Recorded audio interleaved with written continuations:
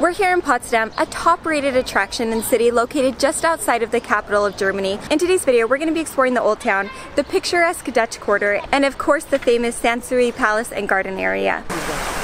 We've made it to one of the top attractions here in Potsdam, Sanssouci Park, which is incredibly large, a World Heritage Site that was built in 1774 for the then King of Prussia to be able to have like a summer escape away from the hustle and bustle of Berlin. This place is massive and definitely worth a visit if you're coming to Potsdam. The only catch is about today is it's Monday and that happens to be the day that everything inside or indoors is closed, which is not a big deal because we ran into some locals who said that it's totally worth just visiting the gardens itself. So this is what we're gonna do now now. It is also said that this is styled after the gardens in Versailles, so definitely a beautiful place to visit.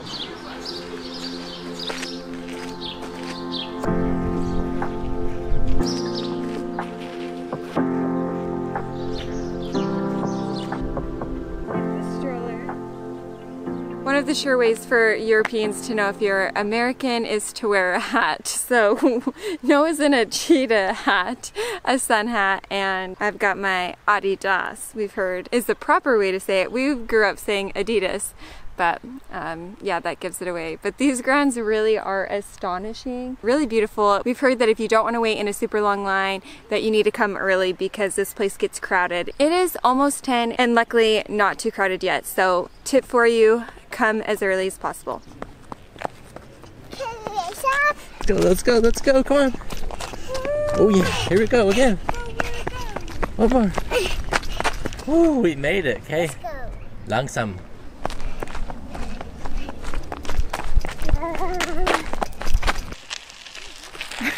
I'm so proud of her. We're gonna be running trail races one day. I know it. Willa, we're gonna do it. I literally almost turned the camera to be like, are you so proud of her? but he beat me to it. She absolutely loves to run. Great job. Uh, I could see LA in the way that you. I could see New York in the way you didn't care. And I could see Tokyo lights in the sky. This is apparently the place to come to work out. We've passed so many people running. Obviously Willa and Tanner have joined in on the fun, but I was kind of surprised by that. The grounds are just so massive here that, I mean, it kind of makes sense.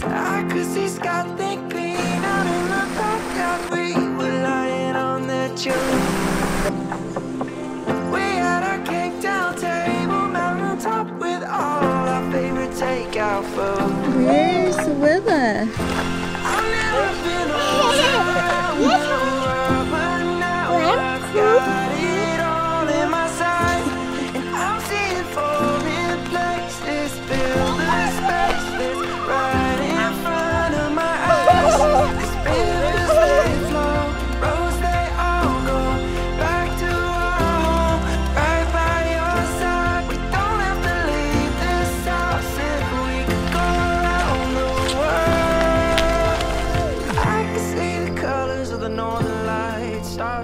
start to pirouette across your summer dress. Oh, hi. And I could even see Hello. Hi. Oh, really? Who's your favorite? Who's your favorite? Mommy? Here. Willa? That's probably true. We've been walking for the last hour or so in the park and it is very big, but it's incredibly beautiful. There's lots of shade even in a very sunny day like today. And it's just like a very picturesque area, a fun place to come. There's lots of people running, biking, just enjoying like picnics and stuff.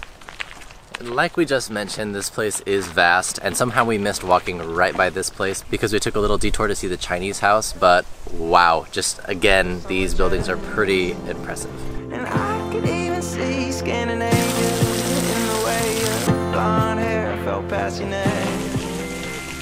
There were probably four other cars when we were here, when we first got here. And there might be four spots left that are open right now, so definitely come early if you can. There was no Berlin Philharmonic, just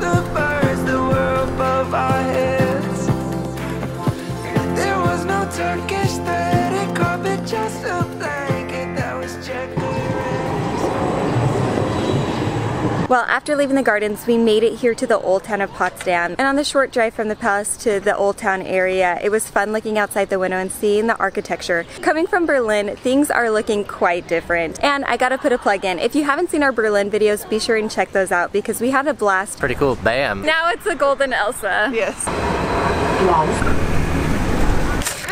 We tasted some incredible food and honestly we learned a lot about the city and Germany in general so be sure and check out those videos.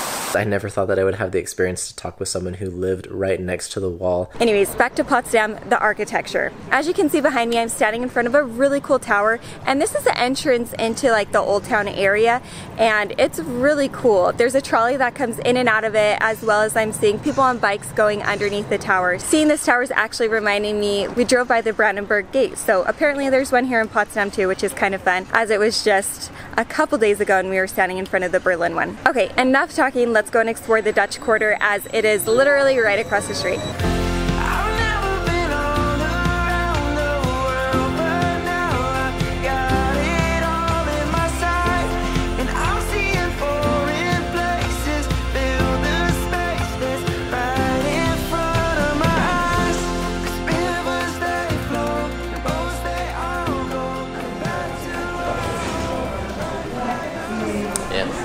Which one should we get? The Dutch Quarter really is so picturesque and it reminds us of our time in Amsterdam and the Netherlands. We absolutely loved visiting and just seeing the red buildings and the architecture here is really fun. Takes us back. Also here in the Dutch Quarter is a super cute cafe that sells cheesecake. You know anything about me and Willa, let's be honest, Willa too.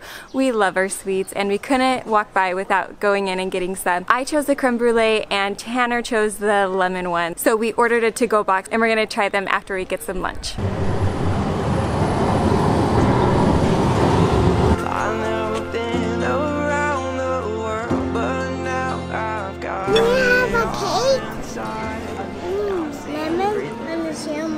We've stopped for lunch at Her Dong, which is a Vietnamese restaurant, and we're really excited because the pictures and reviews online look really nice. We're actually located fairly close to the Brandenburg Gate, so that's fun because we've got a straight view of it. From the gate, there's a nice pedestrian alleyway that everyone can just walk, and there's a ton of restaurants located on both sides. Again, the architecture, I feel like that's kind of the main thing about this place is it's quite fancy. You can just like tell in the prices honestly compared to Berlin when we had Vietnamese food. This place is double the cost for one entree. We're not too crazy surprised by the prices just based on everything kind of around here in Potsdam. Okay, while we're waiting for our food to come, we are going to try out the cheesecake. Willa had the lemon one. Do you want to try the creme brulee one? You're doing awesome.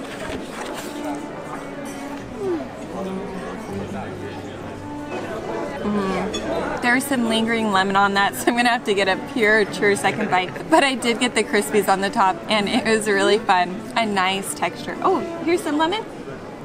Oh, it's really nice. I mean, I expected it to be nice, but when we were talking to the kind lady, she had said that the lemon was not too sour, but it's got more flavor than I expected and it's a little more tart. I'm gonna have a bite of the creme brulee. When ordering, we asked for her recommendations and she said that the creme brulee is a favorite amongst many and that it's also one of the sweetest ones. I'm actually surprised because I expected to like the creme brulee one better based on it being a little more sweet, but the lemon one wins it for me. The creme brulee is nice with the texture because of that top layer, but aside from that, it's fairly subtle and it doesn't have a lot of flavor. I would say it's just more of the original cheesecake flavor. Be sure to try them out if you come here.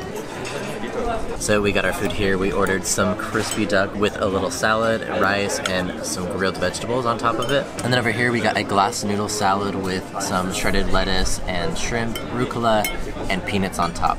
Little mixture of everything together here. The duck is just really crispy on the outside. It's a nice flavor.